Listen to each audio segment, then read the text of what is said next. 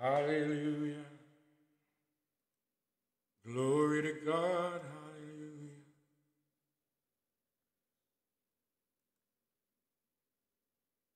Hallelujah.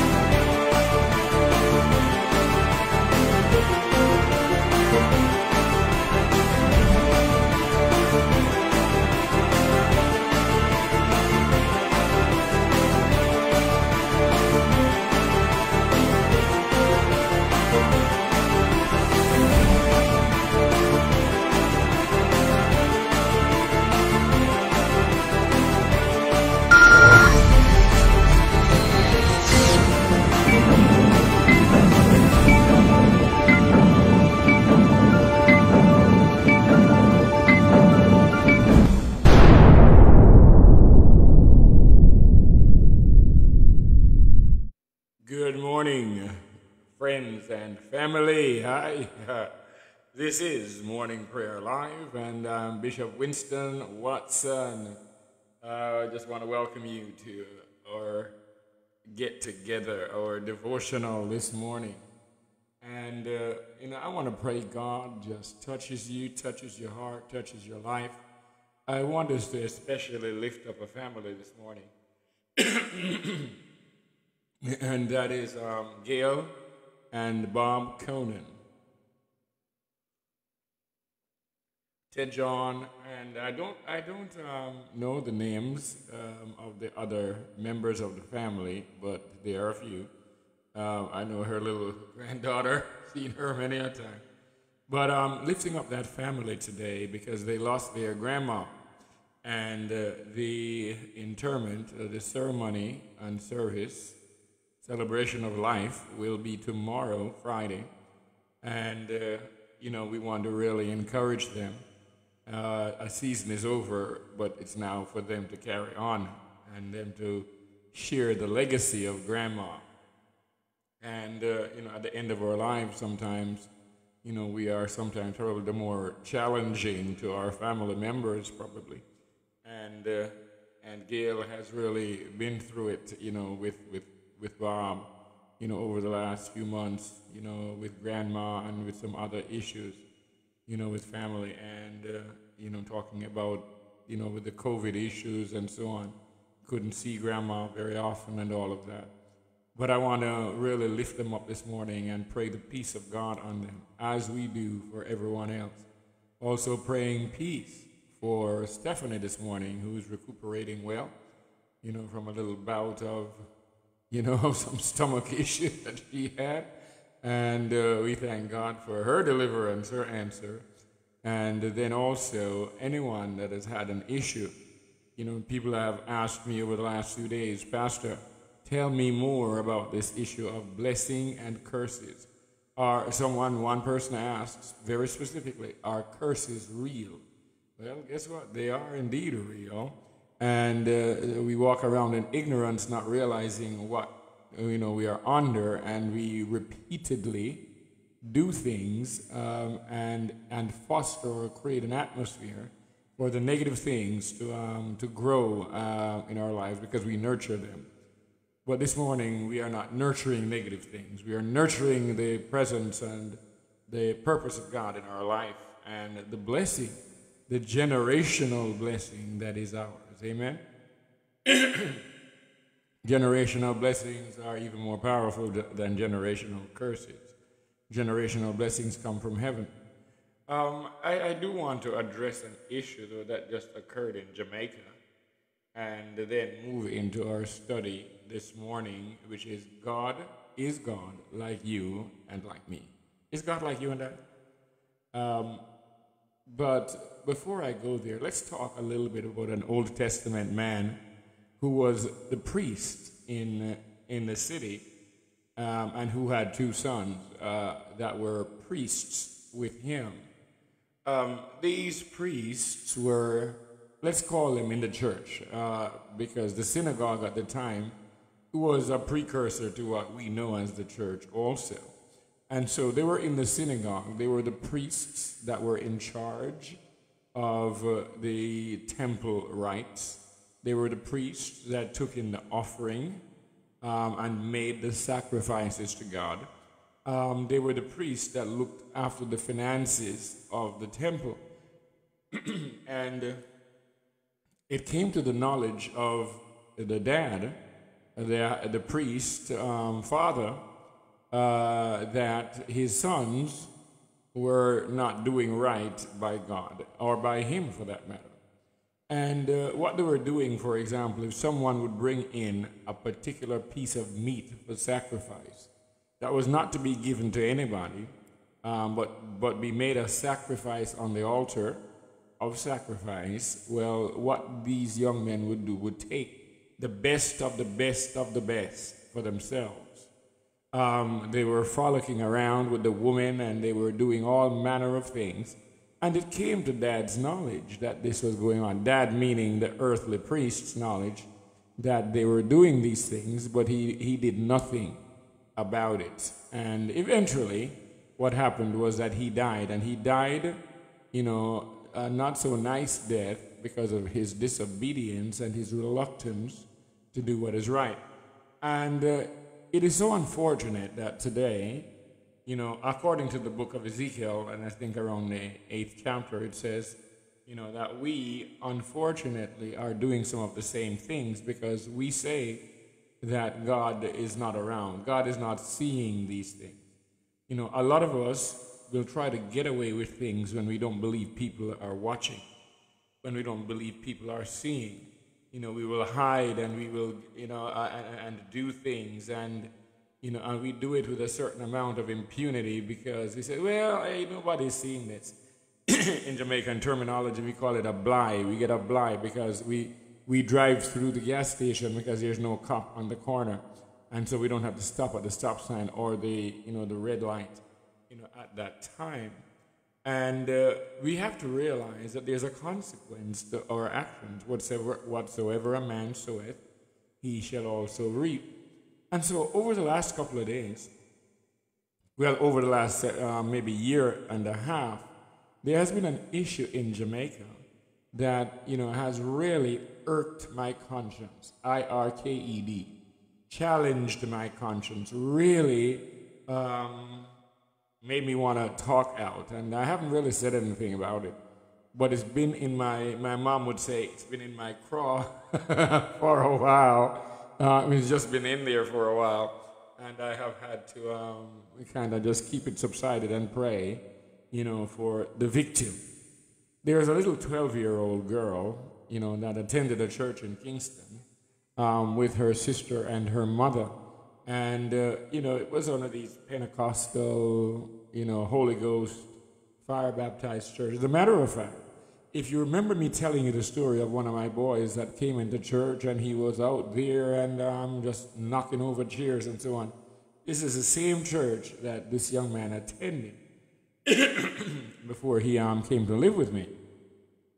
And uh, anyway, and so this young girl is going to church, and the pastor, um, or the bishop, I, I gather he's a bishop, uh, he decided that he was going to kind of bring them under his wing, so to speak. And uh, so he brought them under his wing and he began to, you know, take the little girls out, the older one and then the younger one, take them out for shopping and eating, you know, just like pretty much I would do with, with, with my kids. I mean, I do that all the time. I've taken my girls, my girls in church in Kingston, for example, would come over uh, even here, they would come over to the house.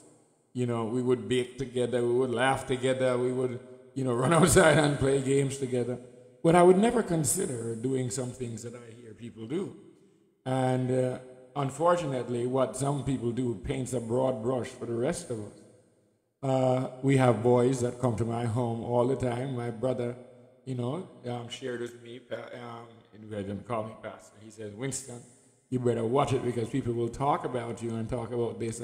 But you know, you have to know your integrity. You have to know what's right and what you're doing is right already. so that you know you don't you're not your conscience is not bothered by someone's opinion, but let it be only their opinion. Let it not be your action, amen, that uh, somebody recognizes. Um, and uh, and then you know has the you know as, has an evidential ability to show, well, you really did this. Amen. Because you have to have a conscience toward God. I'm talking about the minister, the man of God. You have to have a, there's nobody watching over you like that. God is there, but He's not slapping you every single thing you do that might be incorrect. He's not coming into your life and, and you know messing with your life immediately. But there's a consequence, you know, to each one of us when we perform things that are inconsistent with the nature or the integrity of God. So this man took this 12 year old girl out, and they, eventually she became pregnant. You may already have gone to the end of the story. Um, she became pregnant, and uh, she said that, or her sister, I think, might have reported it. She said that it was the pastor that impregnated her, and he swore up and down, along with the church, that it was impossible, it was not him.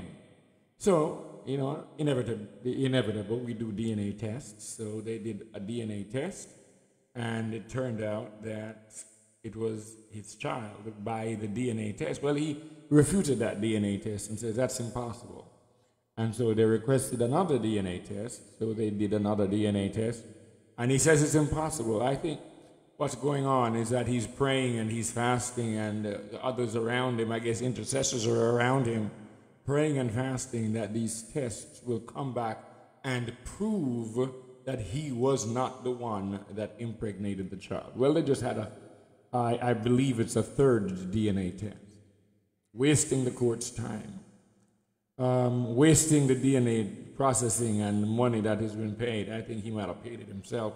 But it's very foolhardy and foolish, you know, for him to do that. When the DNA test has come back again, that he father, fathered this, the, the baby that this 12 year old um, uh, has had. Now, my friends, this is like the man of old. And uh, the, the man of old that I was talking about was Eli. This man today, um, over in Kingston, this pastor, violated a 12 year old child, one of the most vulnerable vulnerable um, individuals in our society. And uh, we, the church, are apt to say, well, we need to forgive him. Well, the church may need to forgive him, but civil law needs to be applied against him. He needs to go to jail and he needs to have every ounce, every inch, whatever it is, of penalty applied to his life because he is held to a higher standard and a higher regard, just like you and just like me. We have to learn as men and women of God, as Christians, that we can't do everything everybody does. Even if they do it and get away with it, we can't do those things.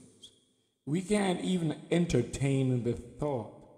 You know, there are some things that we have entertained in life, and every thought that is entertained will usually, at some point in time, manifest in an action. And we cannot allow our minds. We, you see, you and I are in control. it is not like the man on the outside of the kingdom. If you're not a Christian today, well, you know, you on the outside of the kingdom, your mind is really, for the most part, under no control. It is under the control of the enemy. But when you're a Christian, you ought to have the mind of Christ. And you have the mind of Christ because you are taking time to be in the Word of God, to pray, to be in the presence of God, to worship. You're around people that encourage you in doing these things, and then this helps you to maintain focus, to maintain the thoughts of the good things in Christ, to maintain the thoughts of self control. You know, those things that the Bible talks about, you know, the fruit, the fruit of the Spirit. and one of those is what? Self control. It is an ability to control your emotions, an ability to control your urges, an ability to control the very thoughts that would lead to an action inconsistent with the nature of God our Father. And so, and so, then it's important for us, you know, to, to refocus and look at these things. now, this, this child, I think she's probably around 15 now, um, she has, she has, you know what, she has something in her life. If she goes on to get married, you know, is she, if the Lord had, had intended her to marry a pastor, or intended her to have a relationship with a minister, or any man for that matter, okay, she has been violated. And uh, she now has the potential of having a lack of trust for men. You know, I don't know what her mother's role in all of this was, but you think about it and think about her sister and those around. How trustworthy are the men of God around them um, from their perspective after this, after these events have unfolded in their lives? How trustworthy, you know, is the word of a man of God when people encounter these things. How trustworthy, trustworthy is the word of a man of God when a man of God has stolen from you? You know, one person came to me many years ago. She was of, you know, um, she was not Jamaican by birth. She had come to Jamaica from one of the other islands, and she came and she said um, the pastor borrowed money from her, um, almost a hundred thousand dollars, Jamaican dollars, many years ago now. It's a lot of money he borrowed from her. She was a single woman working in Jamaica, saving her money, and he did so. And when she went to him for her money, he cursed her out. His board members um, told her off. And by the way, this is not hearsay. I know the pastor that borrowed it. I know the board members that talked about it. I knew the church very well. And so I have had firsthand knowledge, and I had to minister to this woman, you know, who was so violated by the pastor. Um, I've had other young people, another young lady came to me and confessed, you know, that, you know, the pastor raped her. These are things, my friends, that I cannot, I cannot imagine that a man of God or a woman of God, you know, because it's not just men doing these things well, you hear more so about men, but, but you can, I cannot imagine a man or a woman of God violating the trust of those that are in their charge. This morning, I want us to collectively, to, as, as a body of believers, pray for the protection. Now, we pray for the wisdom of pastors, but also pray for the protection of our children. Pray for the protection of our vulnerable ones our older ones that men are stealing funds from.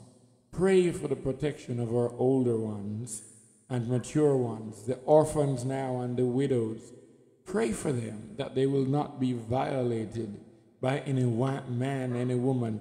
The world will violate them, but we can't allow the church to do that. My God. We can't allow the church to mess up people's lives and to alienate them from the family of God. You know, we have to be an encouraging body of believers. We have to be the strength for the weak. We have to be the ones that are there to put a good word, or we use the term prophecy in our Bible study, to encourage, to edify, and to comfort those around us.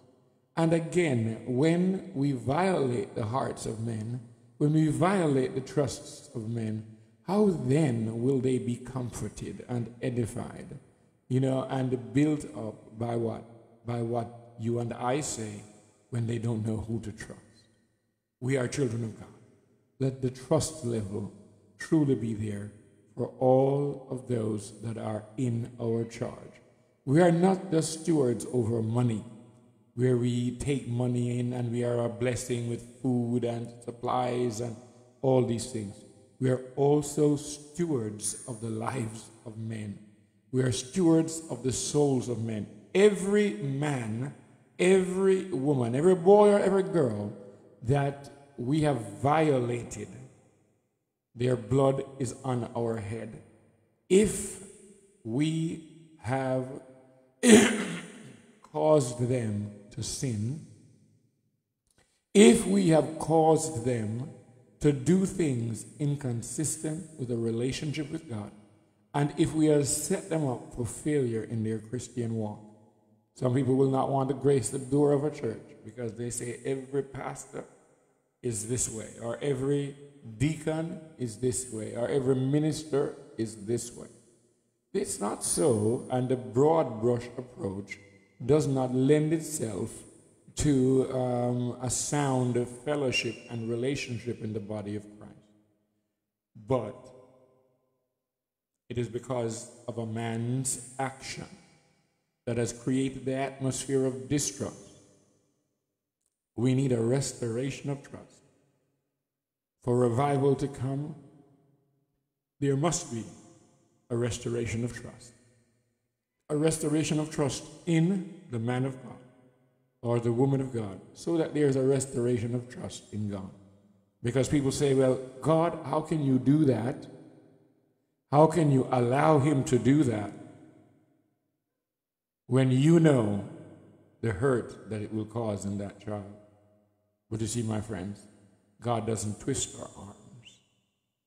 We are, as many people say, we are free agents and we make choices and we make decisions Sometimes they are right decisions, and sometimes they are not so right decisions. Sometimes the decisions eventually merit um, penalties from civil law. Nevertheless, let us look at ourselves today and make decisions that are right in the sight of God. Amen.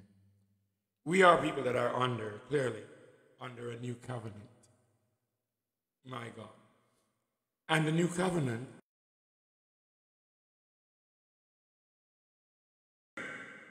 the new covenant is or comes to us when we have accepted Christ's sacrifice.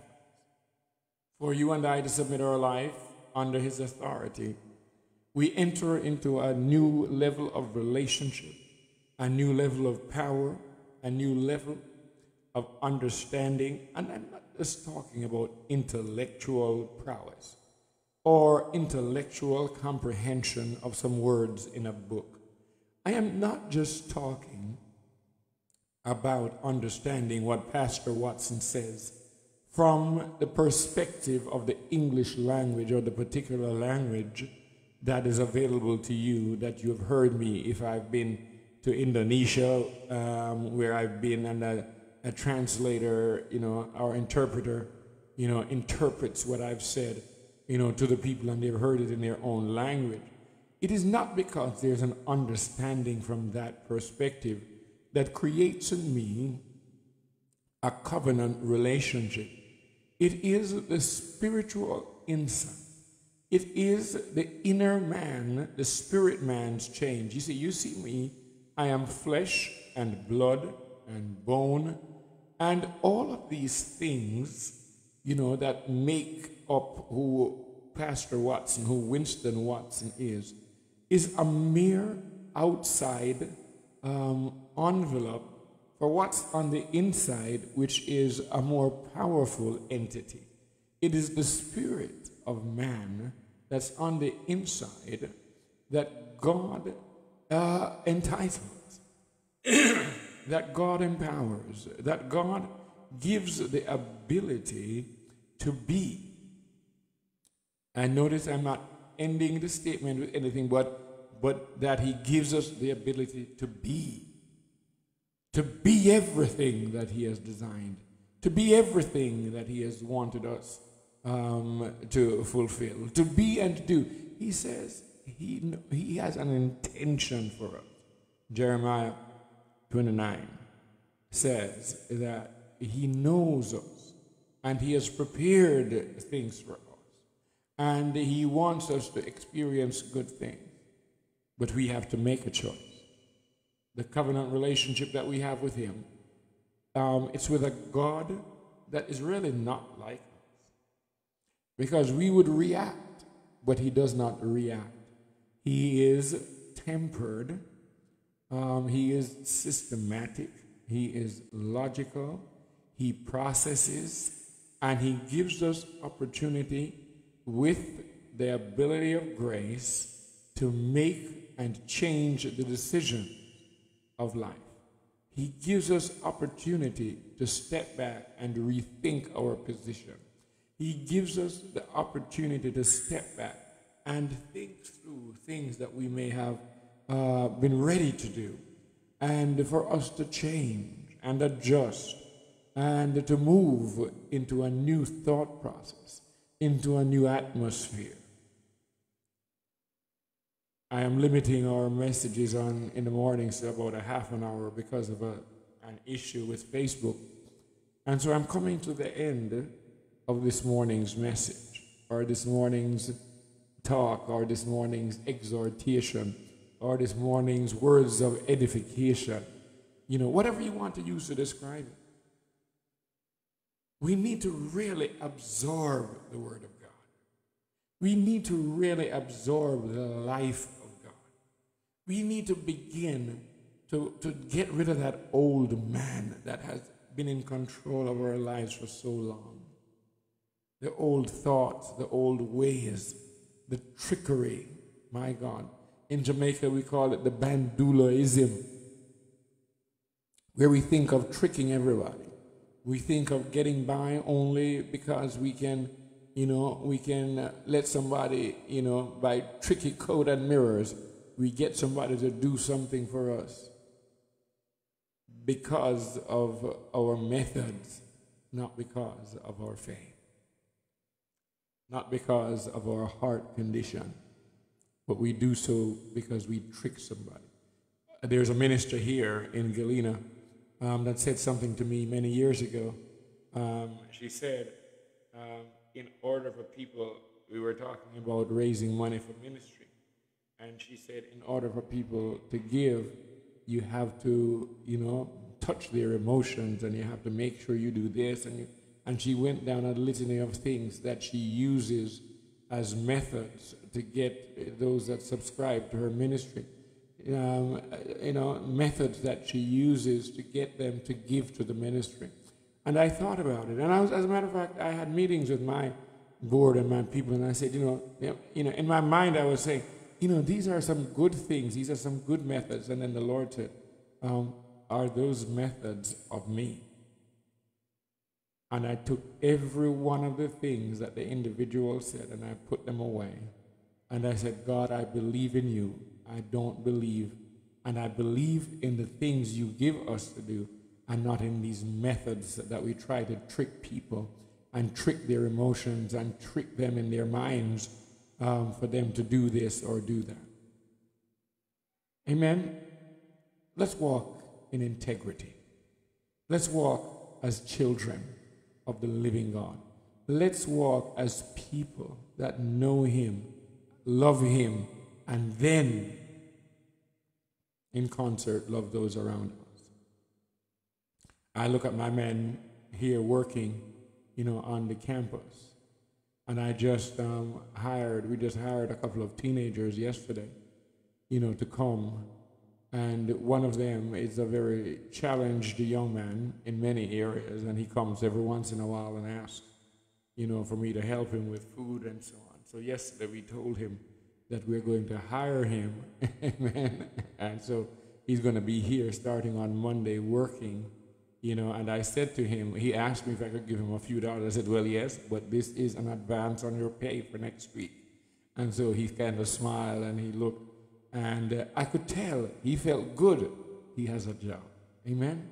He felt good that somebody trusts him enough to give him an opportunity. So let us walk with that level of integrity where people will now also trust us that we are doing the right thing by them. We are encouraging them and we are allowing them to live for God because we live for God and we want to demonstrate the love, the grace, and the mercy of Christ. This is Morning Prayer Live, coming to you from St. Mary, this beautiful parish on the island of Jamaica in the Caribbean Sea. And uh, you all have a wonderful day. Those of you who are in cold country, we pray for the warmth of heaven you know, around you. And those of you who don't have electricity today in the United States, you know, we are praying for them also. They may have generators running or whatever it is out there, but we thank God that that is short-lived and that their power systems come back on the grid pretty quickly in the mighty name of Jesus. May God bless you, my friend. Have a wonderful Thursday and let grace abound in your life. We'll continue with this tomorrow the covenant God. Is God like you? Is God like me? Hmm. We'll talk a little bit more about it. Amen.